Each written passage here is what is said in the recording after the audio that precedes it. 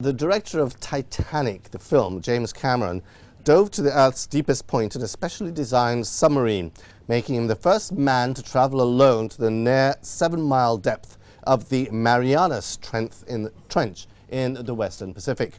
Well, Gautam Naik is here to discuss the achievement with me. Gautam, first of all, what exactly did he do?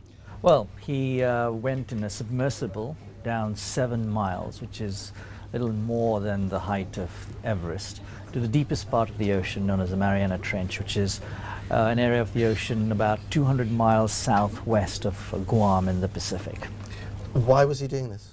I mean, because that's well, a lot. That's a pretty. That's a pretty. Okay, it's one thing climbing up to Everest, but going seven miles under the sea, that's a lot of pressure. Well, it's James Cameron. He's uh, you know an established love for the oceans, and he's been in submersibles um, and dived to the Titanic wreck many, many times.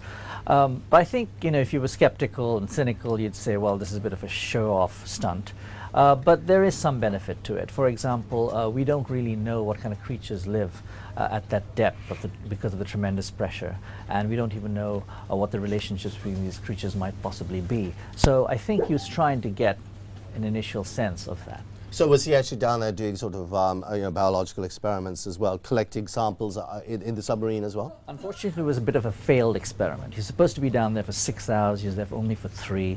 Uh, there was a hydraulic leak, uh, so the oil kind of clouded his vision. Uh, so he didn't actually use his robotic arms of the submersible to uh, get any samples, and he had to come up sooner than he expected. Was he doing this on his own? He was doing this on his own, on his own, and that's what makes this a bit of an interesting achievement because in 19 1960, a Swiss and an American actually did go down to the same uh, Mariana Trench bottom and stayed down there for 20 minutes. They didn't see anything either because sand clouded their vision.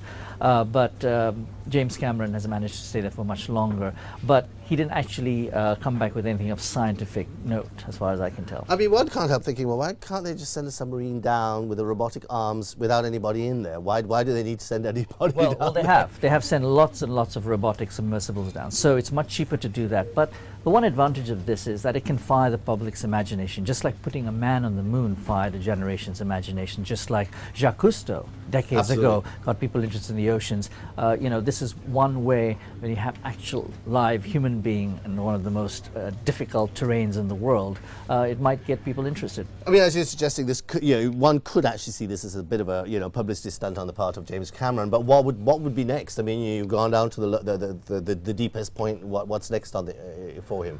Well, I think you need to go down there for an extended period of time. You need to collect samples, and of course, James Cameron, being a film director, filmed a lot of what he saw. He didn't see very much at all this time, but in subsequent missions, uh, if he's able to stay there for longer, collect samples, and actually film uh, things, then that might be interesting. One of the interesting uh, uh aspects of this was that they wanted to send down a bait, uh, another robotic vessel with a bait that would attract various undersea creatures, and he'd and be able to observe and film them. But unfortunately, the technical hitch.